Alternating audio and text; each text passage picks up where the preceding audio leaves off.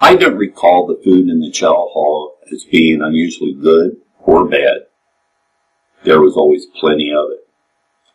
Greeks prepared it for us, and there were some young Greek women there who would clean up the tables after us and flirt with the GIs, and that was kind of a fun thing. But I do remember the milk. The milk was brought over in powdered form. We called it, I think it was recombined milk.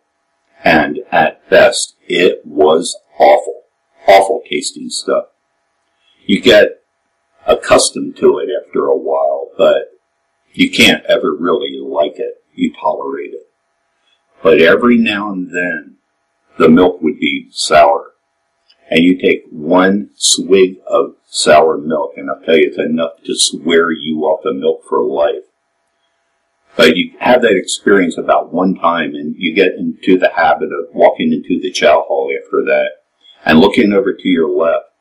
If you see any of the uncleared tables still with full glasses of milk on them, then you know today is a sour milk day. Stay away from it.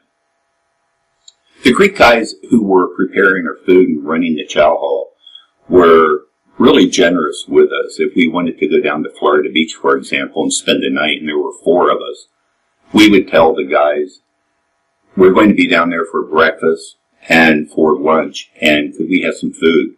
If there were four of us, and we were going to, in combined total, miss eight meals, then they would give us enough food for eight meals. They were really good that way.